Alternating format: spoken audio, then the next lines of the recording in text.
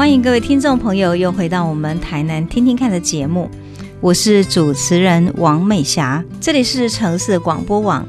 我们北部地区的频道是 FM 九零点一台北健康，苗栗地区 FM 九八点三大苗栗广播，中部地区 FM 九二点九城市广播，台南地区 FM 九七点一台南之音。台南听听看，总共六十集，我们将一个城市台南为出发，将台南的文学、美学、建筑、环境、地景，以及许多怀抱着爱与梦想，在这边逐梦踏实故事分享给各位。今天是我们建筑的第一个单元，我们请到的是生产力建设的董事长，他将与我们谈一谈他来台南起家，然后在起家的建筑中，他的建筑理念是什么？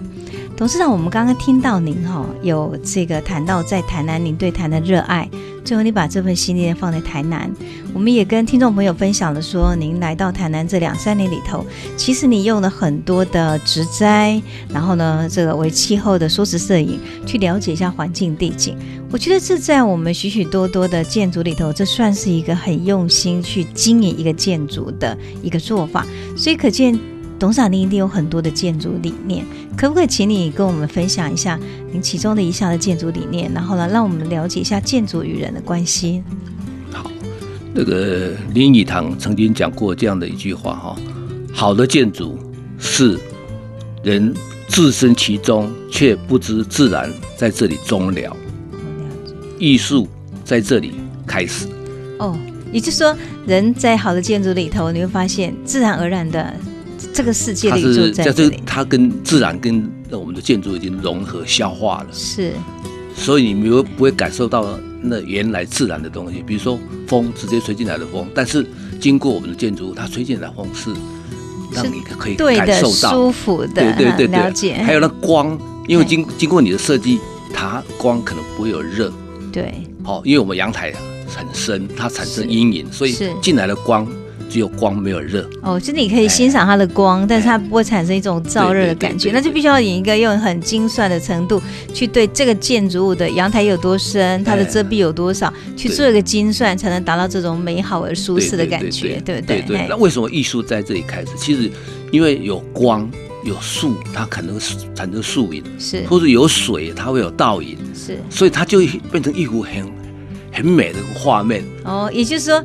您会在你的这样的一个建筑空间里头，时时你睁开眼睛享受都是美景。对对对。因为专业人士帮你设计过了，他就是用最好的一个建筑的它的一个设计的空间，好让你享受到这个美景的可能就对了。对对对，这我觉得他这句话的意境很高，所以很喜欢这句话。哦，你把它当做你的奉为圭臬去建筑你的东西就对。对对。其实我就发现，在这样情况下，住进里面的住户应该是很幸福。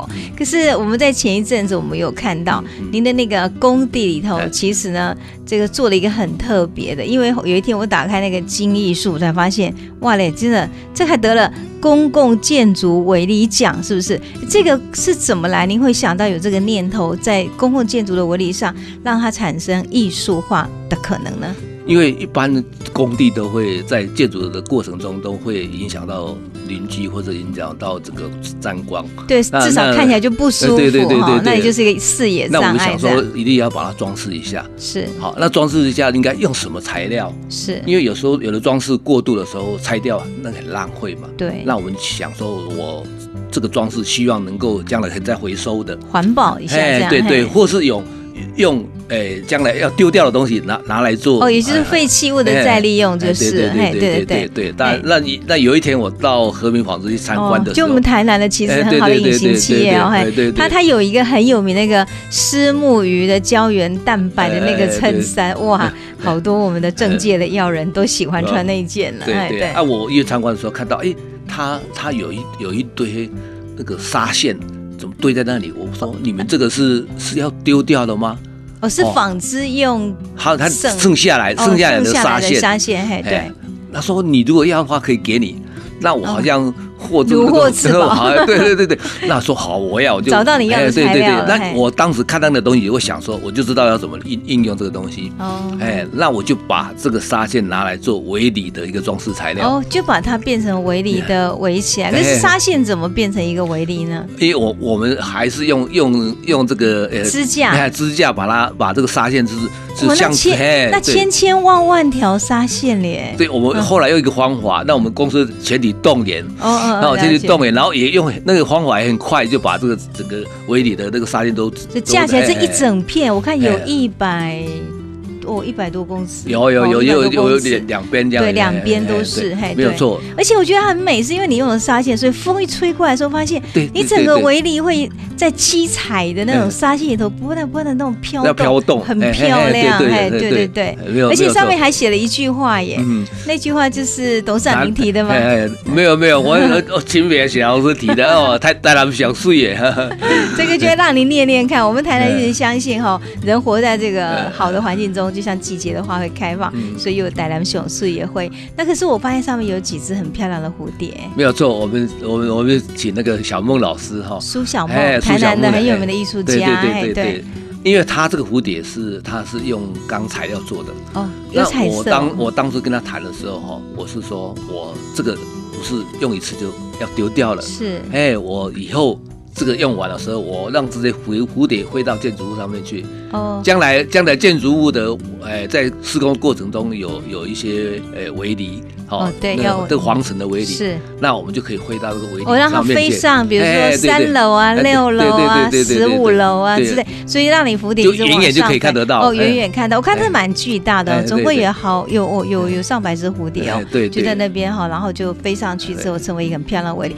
而且围篱上面它还有彩色，对对，所以我感觉就是真的是一个很好的一个建筑一个一个地景一个地景对对景对对，很多人哦，骑车骑到他们转角就停下来，然后拍照。于是他们喜欢站在哪里拍照？人家带他们熊视野，他就站在对对他站在那边呢，我带他们熊视野挂，就是感觉是真的很不错。所以呢，我觉得这个就变成好像你在做一个建筑，个过程中围篱没有产生视觉的障碍而且对围篱也产生很好的美感，让大家所喜欢。